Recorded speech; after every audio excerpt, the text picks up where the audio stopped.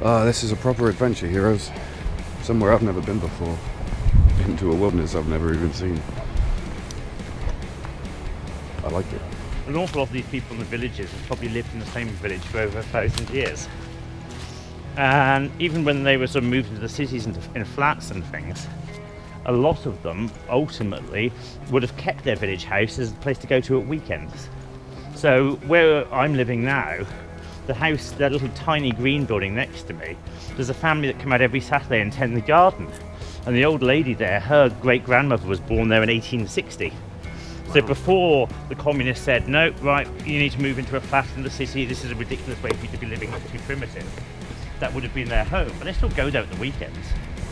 There's just a certain logic to, isn't it a bit better to live in a heated, insulated flat than a drafty cottage, you know? Yeah. Okay, and after spending a brief time sorting out my camera, they're all over there.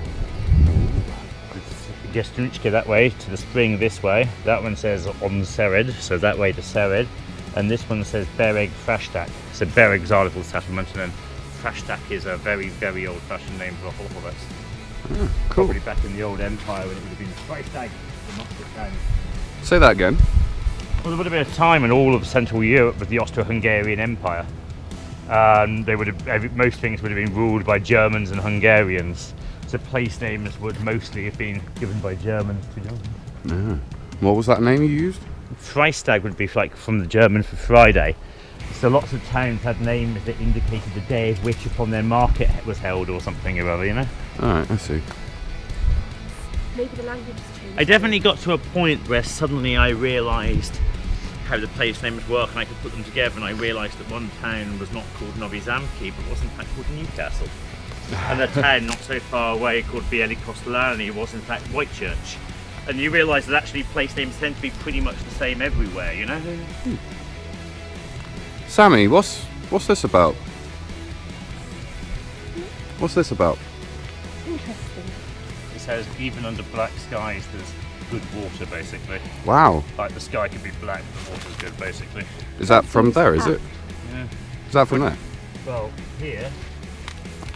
You could read it two ways. The word black is the same as the word devil. So you could read it as the devil's good water or of black sky is good water, you know? Hmm. I uh It's like most of the yellow signs that UI puts up like puns, mm, you know? So they're, they're all designed to read two ways. And puns in a foreign language are pretty challenging, you know?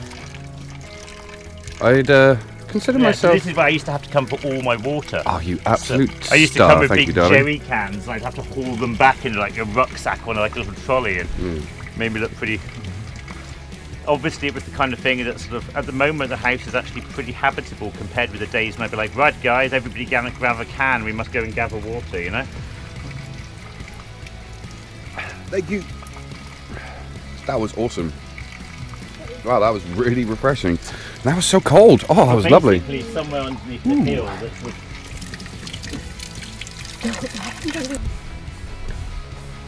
He's coming to get you, Barbara. He's coming to get you, Barbara. Yeah, you saw it here first. That's fucking Santa Claus. Crazy, right? I woke up today and had shots with Santa. I'm really quite drunk right now. It's good times. Now we're about to walk for like an hour and a half to Hlohovec. It's gonna be fun. Wait a minute, where's Sam? Sam's going to get his phone because he's a fucking idiot. Seriously, look, it's fucking Santa Claus. Don't hurt me. I think he's actually gonna fucking kill me.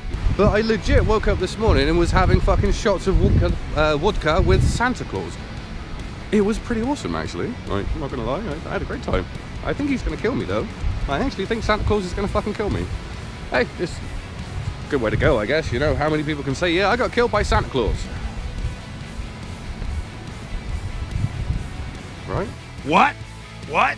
Oh. These are quite hard to translate because they're usually puns about language and things. Yeah. So it says memorial tree. In the year 1713, Jánošík was not hung from this tree. Jánošík was a famous sort of Robin Hood bandit character who was famously hung from a tree, but just not this one.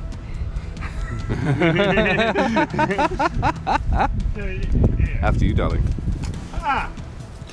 You okay, Santa? This says beyond here it's not suitable for 15 year olds because on the other side of this tree is a portrait of the most devastating predator on earth. What? A picture of the most devastating predator on earth. Motherfucker. Who is it? Sam? no, it's Santa, see? You know. It's Santa, see? There you go. this says this is Rock hunting badge. Oh, thank you. Thank you. Check that out. New badge. Hell yeah. Thank you very much. It says if you wait five minutes, Arrowdog will be here. Harry cock. What? Okay, we're leaving now. We're, we're leaving now.